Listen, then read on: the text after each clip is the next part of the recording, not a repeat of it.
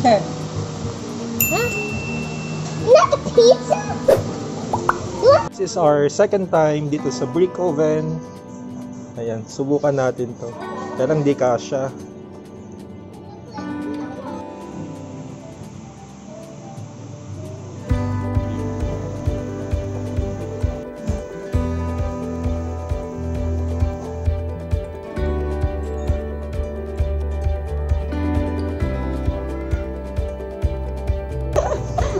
Siya po yung nag-serve sa amin last time.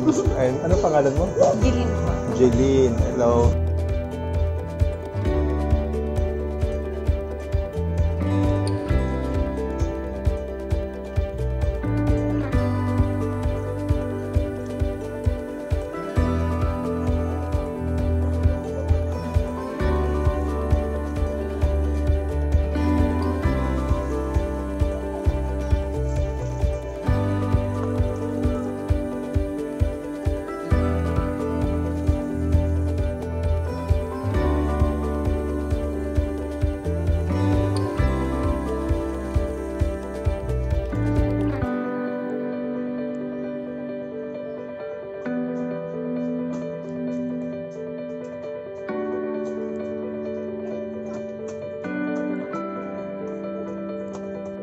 First visit namin dito, hindi kami masyadong nakaikot kasi bagong-bago pa lang talaga sila noon. But this time, marami na silang ino-offer na food, tsaka nakakaikot na rin dito sa place nila dito sa Brick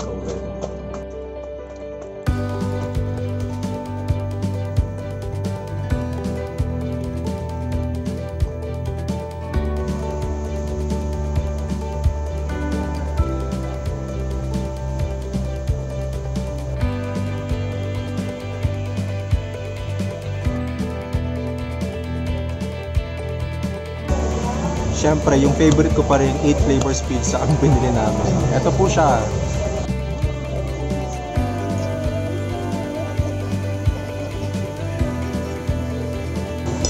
So ito yung ano, 8 flavors pizza nila. Ayan.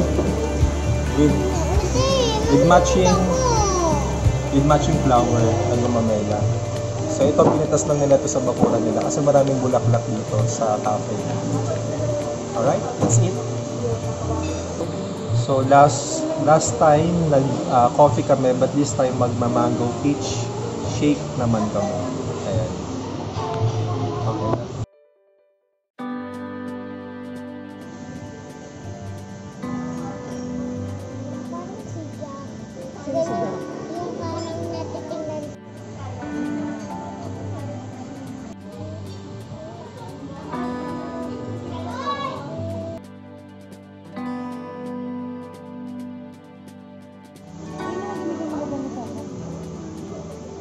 Dahil lunchtime na kami inabot. And meron naman silang sinaserve na meal dito. Ayan. So this is Lukban Longganisa. So ang tawag dito ay Long Silong. Ayan. Long Silong. With matching suka.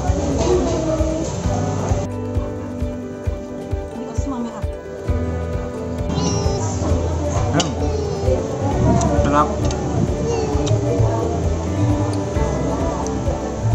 Sarap yung kanilang langganisa from Lokban. Saktong-sakto sa suka.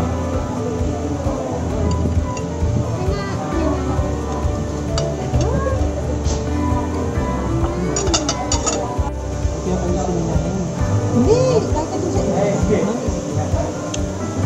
Kakain naman yung kahit. Ang all-time favorite namin, Hawaiian pizza. Best. Hindi ako prepared mag-vlog.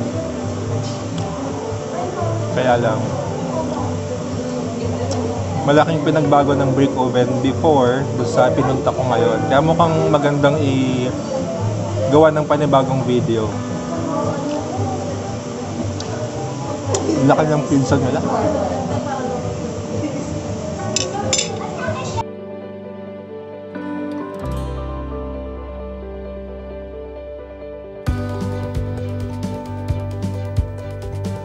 Next flavor na titikman ko, itong may dahon.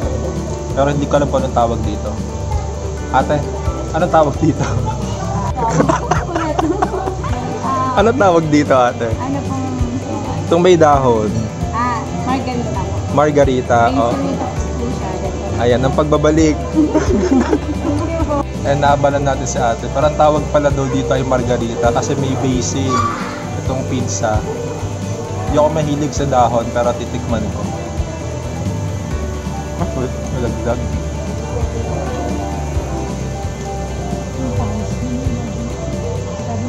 Crab.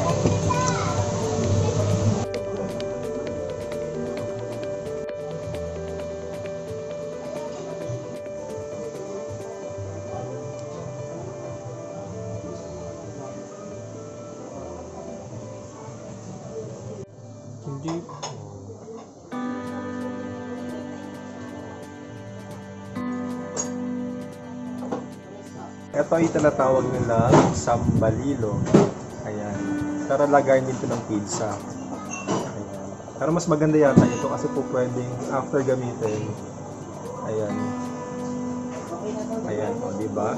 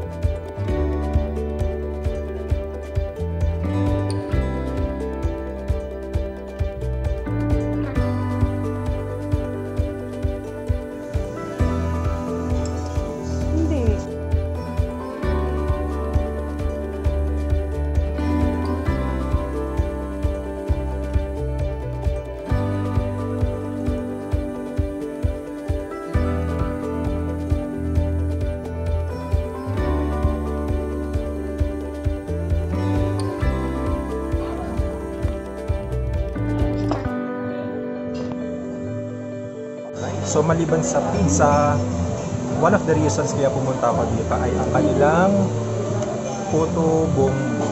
Ayan. Special.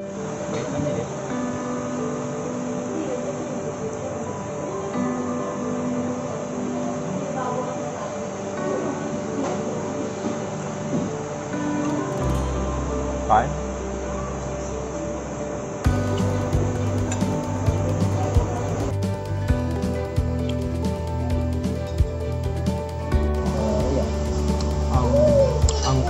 finale itong kaping barako